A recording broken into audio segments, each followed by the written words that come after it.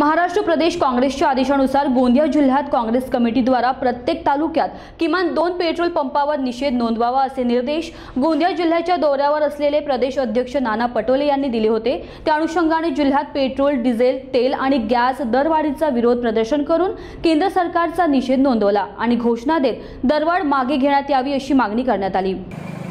अदानी अंबानी के दलालों को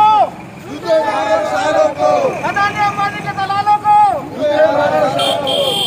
मोदी तेरी तानाशाही नहीं चलेगी नहीं चलेगी मोदी तेरी तानाशाही नहीं चलेगी नहीं चलेगी नहीं चलेगी मोदी तेरी तानाशाही नहीं चलेगी नहीं चलेगी अदानी अंबानी के दलालों को. जूते मारो करो कम करो. पेट्रोल के दाम. कम करो कम करो. डीजल के दाम. कम करो कम करो. डीजल के दाम. कम करो कम करो.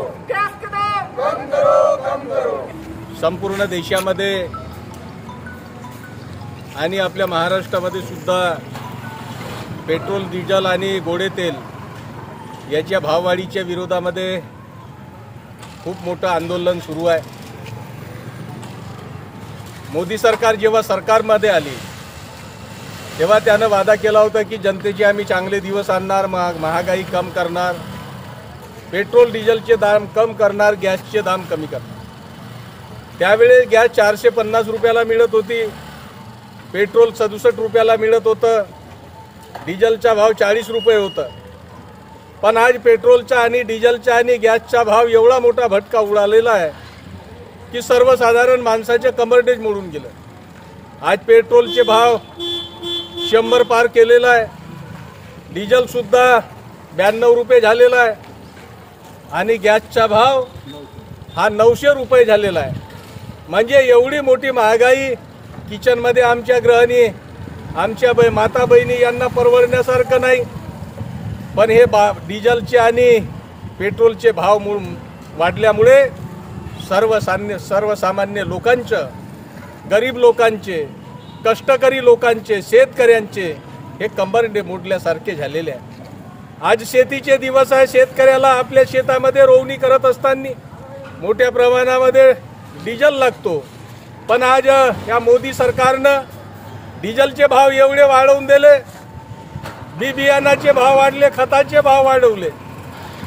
आणि ह्यामुळे जो आमच्या बळीराजा आहे जगाचा पोशिंदा शेतकरी आहे याच्यावर एवढं मोठं दुःखाचं डोकर कोसळलेलं आहे की त्यानं आपली शेती कशी करावी?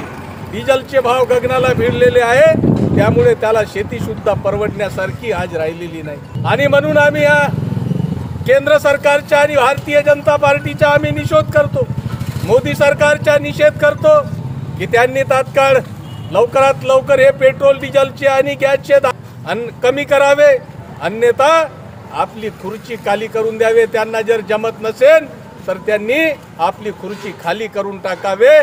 आप दुसऱ्याच्या हातामध्ये त्या खुर्चीची चाबी द्यायला पाहिजे. आमची एक मागणी आहे की मोदी सरकार जेव्हा सत्तेवर यायचे होते तेव्हा मोठमोठे लुभावणे वादे जनतेच्या समोर केले होते. जनतेला सांगितलं होतं की अच्छे दिन आएंगे. बेरोजगार युवकांना सांगितलं होतं की प्रत्येक वर्षी दोन हजार दोन करोड बेरोजगार युवकांनाच्या हाताला आम्ही काम देऊ.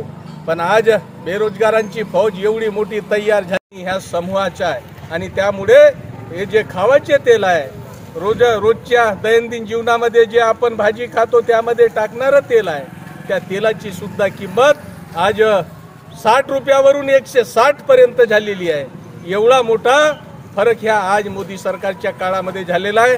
नक्कीचपणे आज आम्ही पेट्रोल डि डिझेल दरवाढीच्या माध्यमातून ह्या सरकारचा निषेध करतो. ह्या सरकारनं लवकरात लवकर डिझेलचे आणि पेट्रोलचे दर कमी करावे अशी आमची मा- महाराष्ट्र टीव्ही ट्वेंटी फोर करिता राकेश रामटेके आमगाव